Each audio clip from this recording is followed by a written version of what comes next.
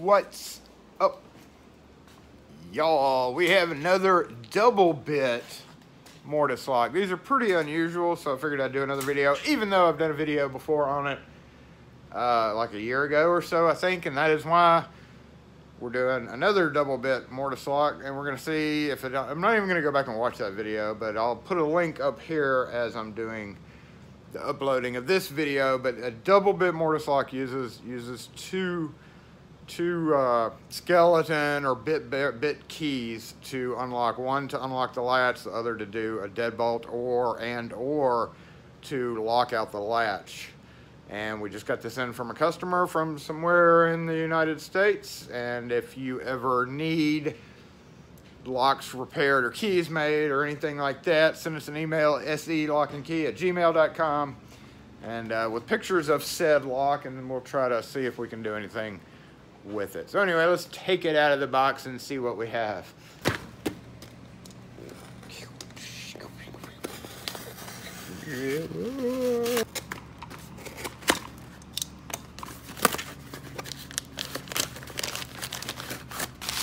The best kind of packing paper. Look can see how much uh, Hershey's candy is and wherever this person's from. It's $2.99. It's pretty much same price ours is. Hey, there we go. Look at this beautiful guy right there in the light.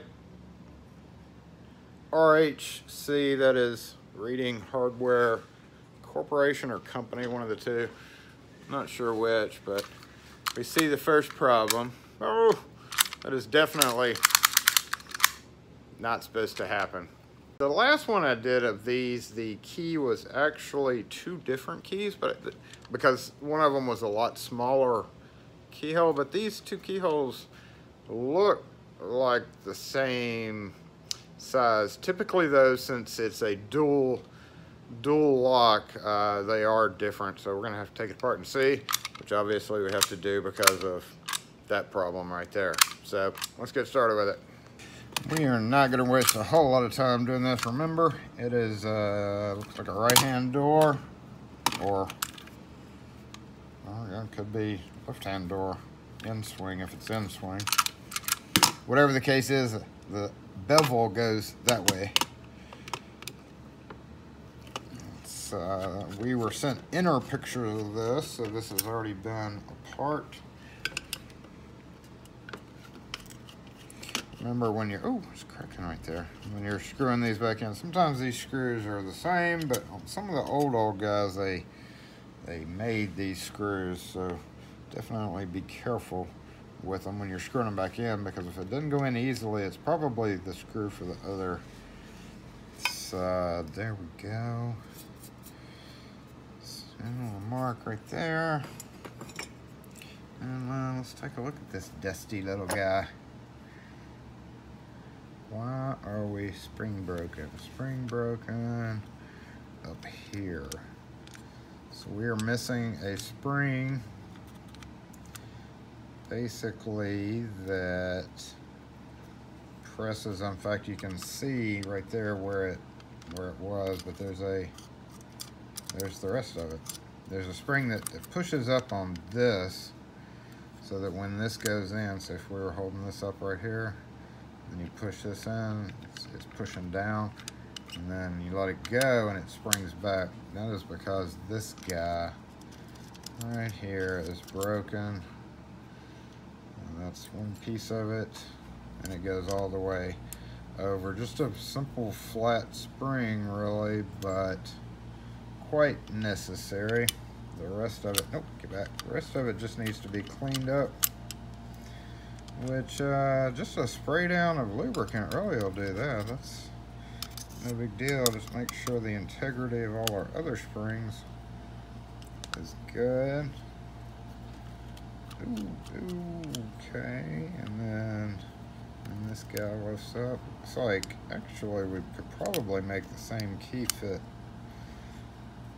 both, but what happens is this does your deadlock put the key in, turn it, and it comes out just like that. Snap.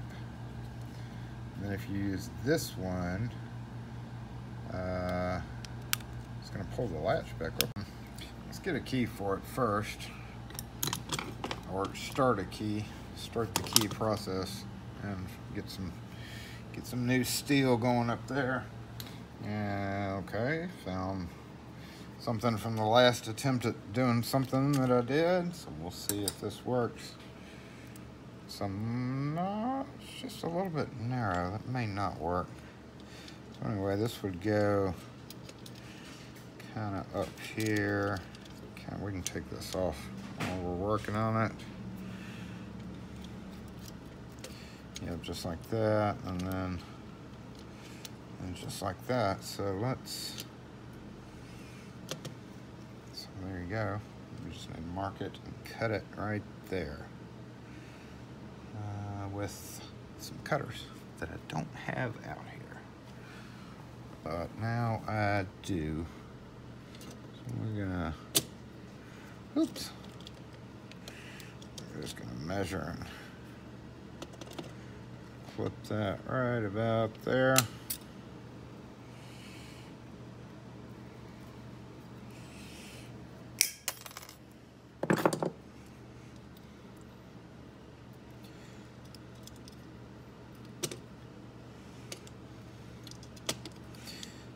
slip this guy under here. And, oh, I shoved it too far in there. There we go.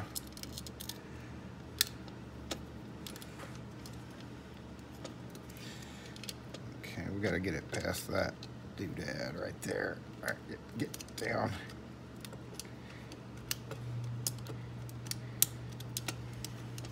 Get down. Thank you. Thank you. Get down there.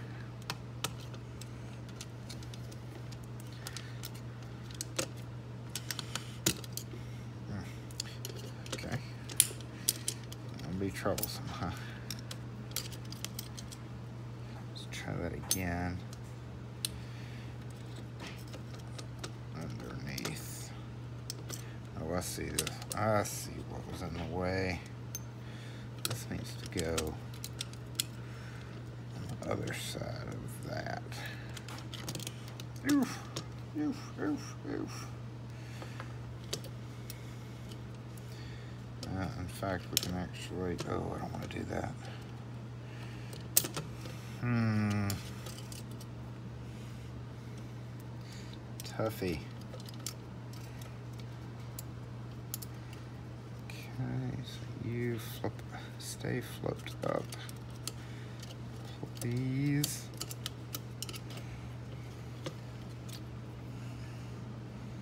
Yeah.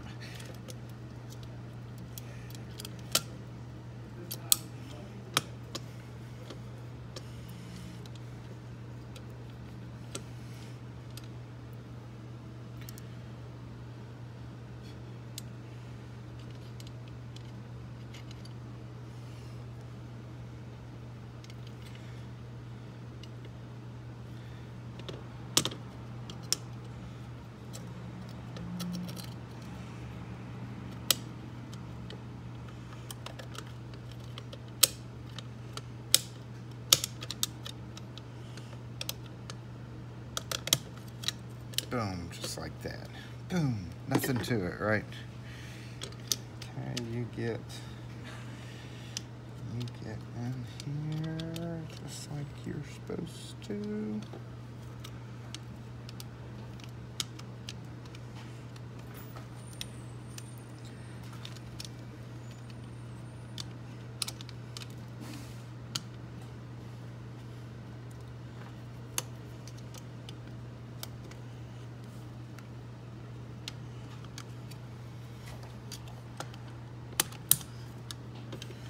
Just like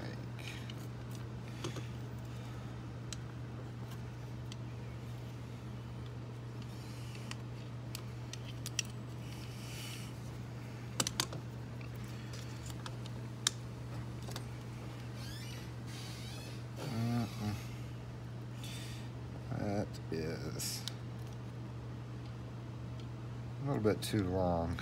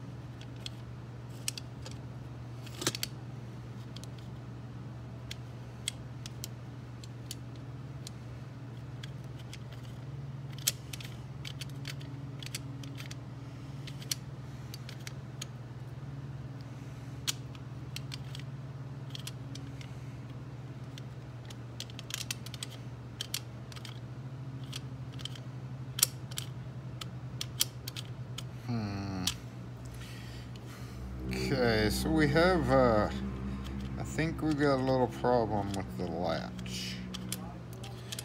See how it's got all this wear right there? Got this new spring in. I might actually switch this one out to a little bit wider. It can take a little bit wider spring. But, see how that stops right there? I think, I think we've got a little bend in the latch. So we're gonna have to take that latch out to see Oh, indeed. That would be a definite indeed. Just a little bit of a bend in the latch. Flat is right there. And then, yeah, oof, oof.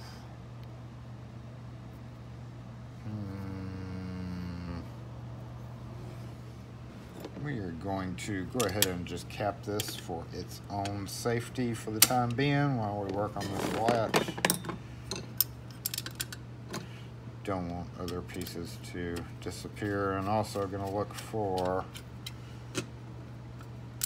maybe some wider metal.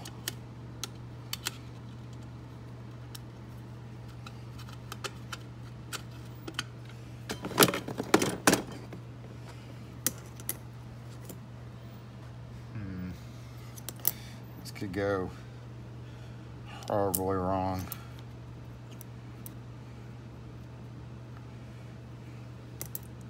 I think I'm gonna clamp this guy.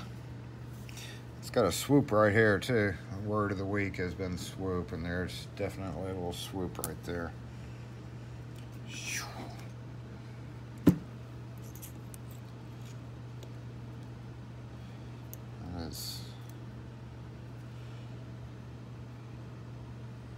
worrisome.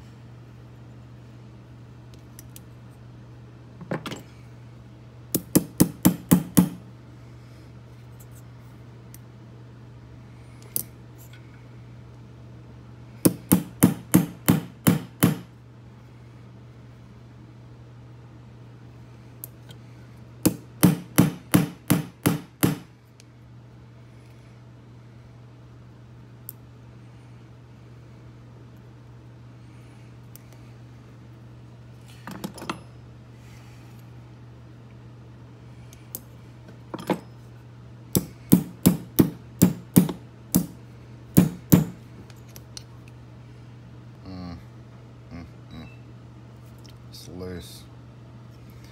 That's probably why we have this problem.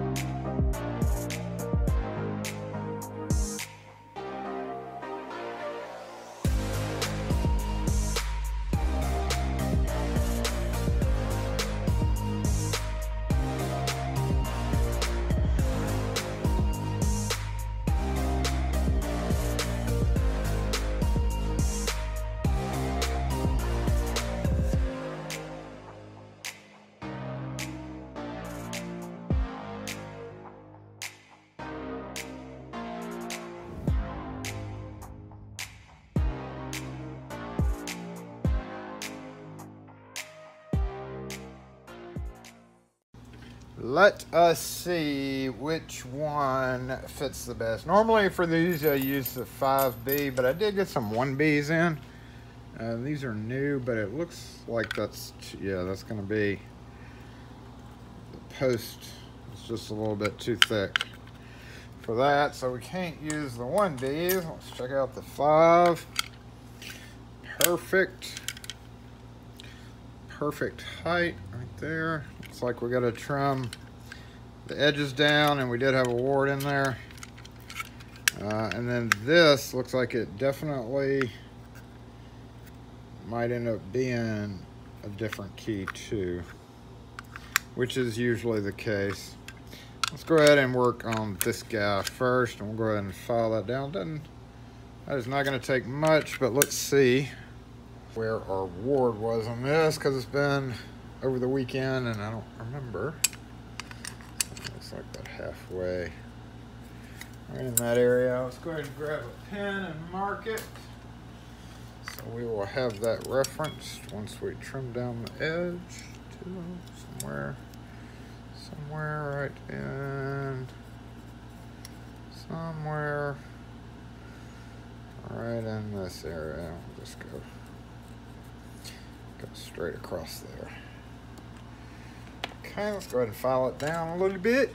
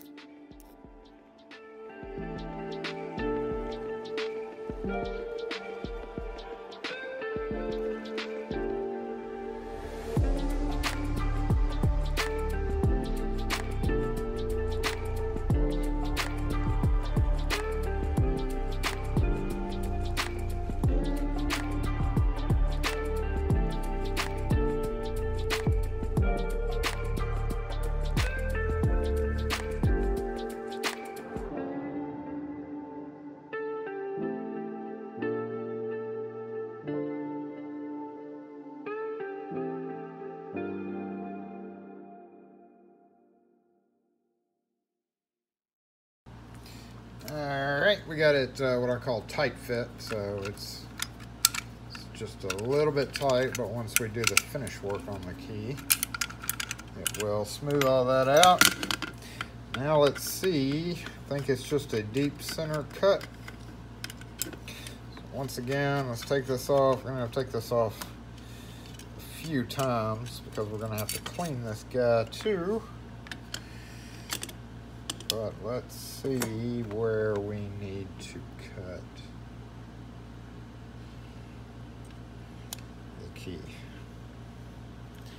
Right there in the center. Two, tuck it up. You can see it's literally dead center. Again, we do have this as an example. just cut cut that down if we really wanted to. But see how floppy that is? smaller diameter. Better to go with the exact key for it. So uh, again, you could do this with uh, just a file down the middle, but we're just gonna use the slotter since I have one. All right, bam, there in the middle. Probably at first come down to right about there. I don't want to go too deep at first.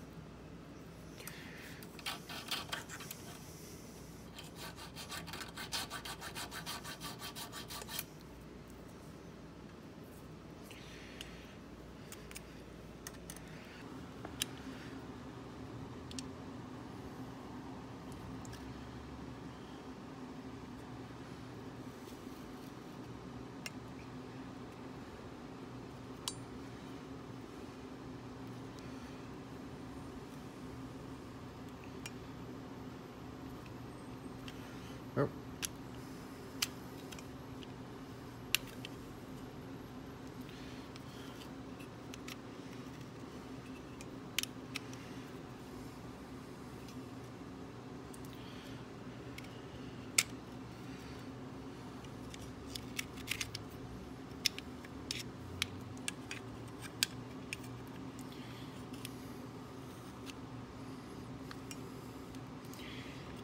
It definitely needs uh, cleaning. I think we've got it right now, just without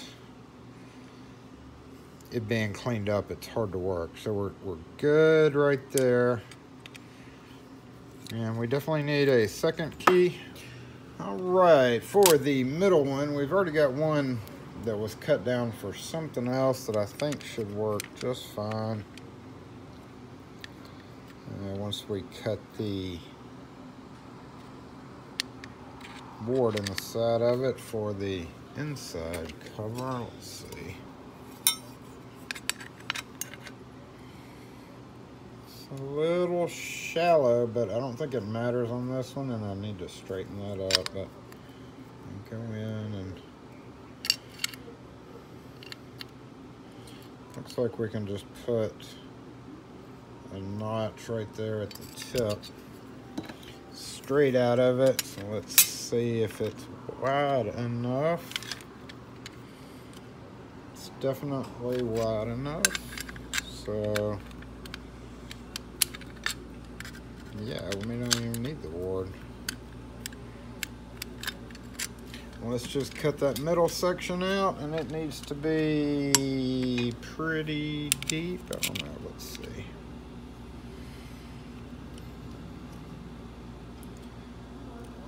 Is going to be right in the middle also. That'll leave, yeah, there's plenty of blade there to catch what it needs to catch. So let's go over here and uh, throw our cut down the middle.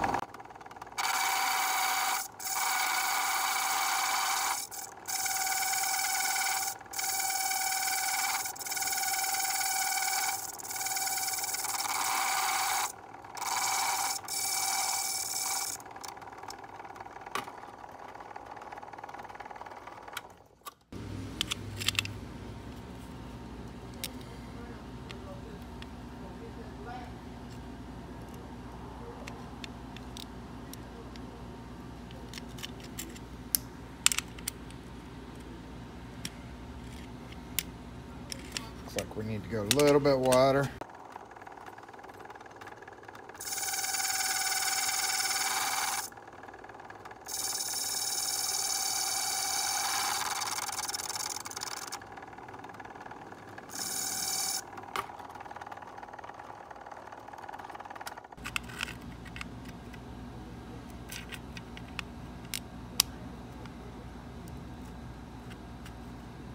Hey. Looks good. Alright, that'll work. Pretty easy. I need to uh, straighten straighten that up just a bit.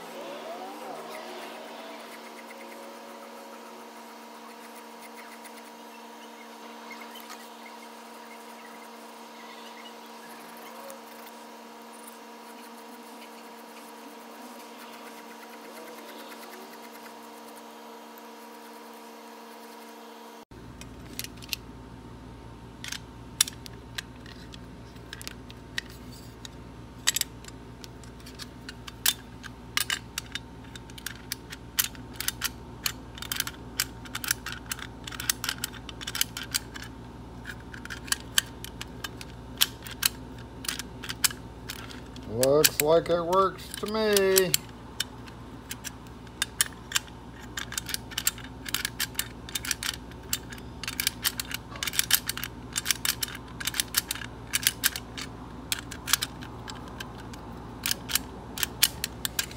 All right, now we get to clean it up. So we're gonna take it all apart and hose it down and basically put it back together. It's not in too bad a shape. Just needs a light dust up there, looks like. Now, of course, I have plenty of video of it to refer to. However, if you were doing this on your own, always take plenty of pictures before you do this.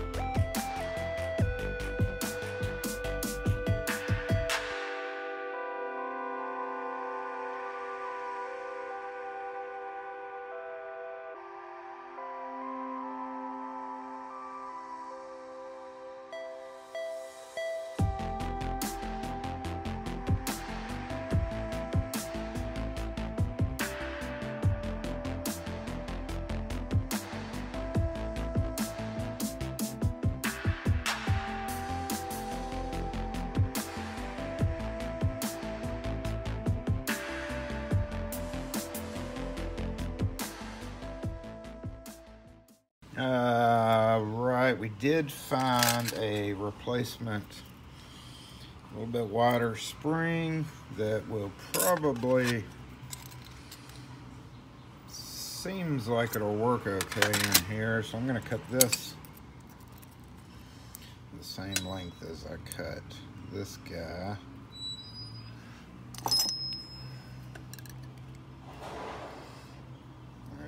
there. Set this aside.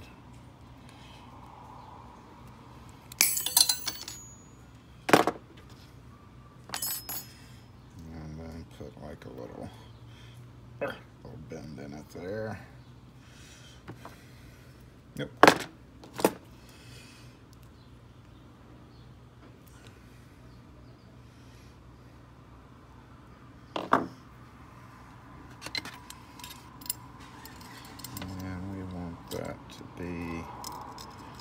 Just like that. Let's put a little bit more of a bend in the top. In that area. Out.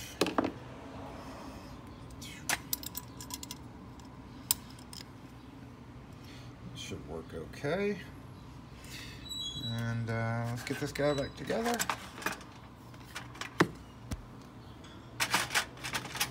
Make sure this slid first. Remember we were having a problem with that sliding in and out. So let's make sure nothing's wrong with it. I think it was just dirty. Yep. All right, and this guy goes, goes like that. This guy, I believe, went like this. Yep, just like just like that, but it needs to go needs to go down a little bit further, looks like there. Hmm.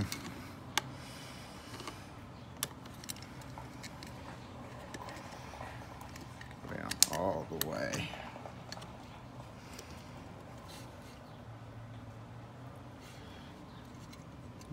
Yep.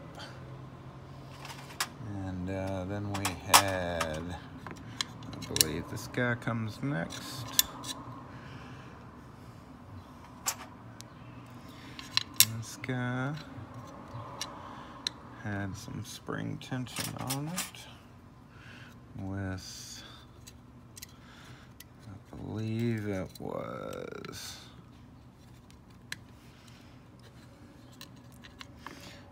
oh, wrong way. That was the wrong way. And that's why you take pictures, right? Um, so then this guy comes up here and over. Uh, actually, this may have been on that side. Yep, this was this was over here. And this is why you take pictures, y'all, because you kind of remember where all those little bends and stuff are in the springs. So that's just like that. And uh, then we had, see, this guy. up here.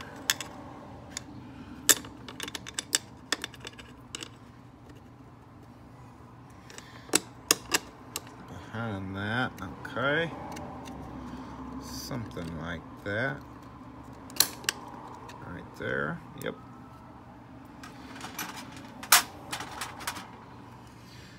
And then we have that and that.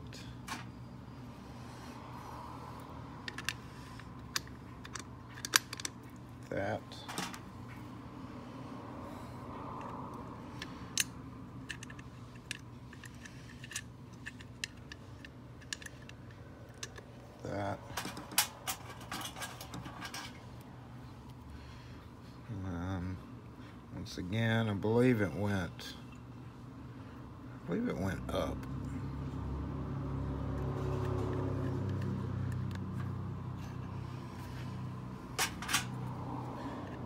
This thing here, bunch of little doodads.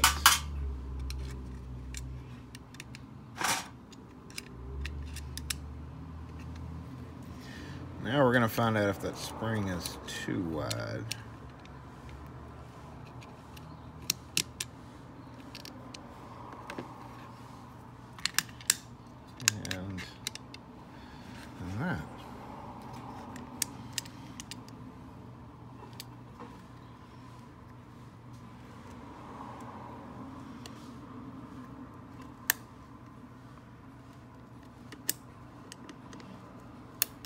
Looks good. Looks good.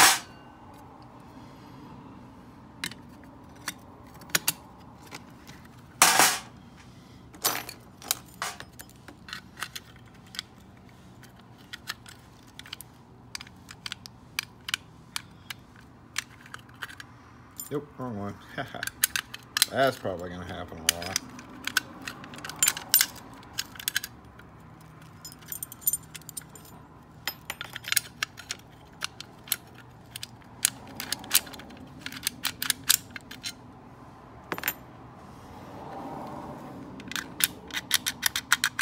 think we're good, y'all.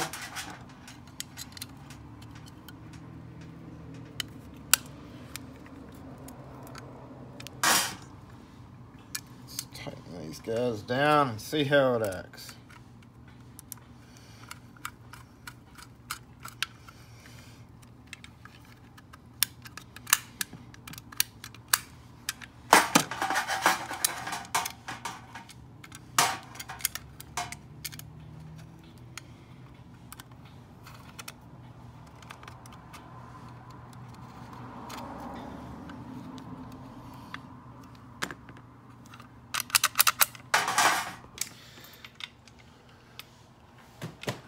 Well, everything went back together okay. We have our little key. So if we have a doorknob, which I don't have a doorknob out here with doorknob, the latch is locked. Push that and it releases that little divot.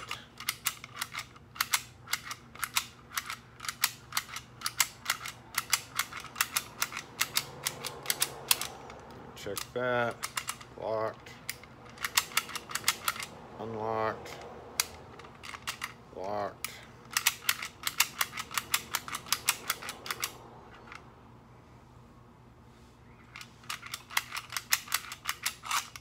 Unlocked. Locked.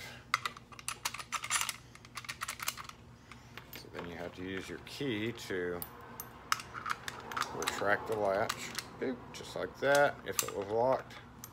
We really wouldn't recommend that. So yeah, most time people would just use this, you know, open, close, open, close, and then if they wanted to lock the door, they would use their deadbolt key. Just like that. So anyway, there we go, another double bit mortise lock, y'all.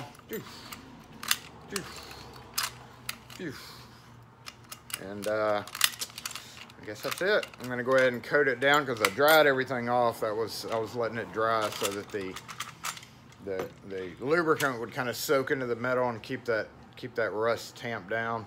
But I am gonna open it one more time, coat it one more time before it goes back out to its owner.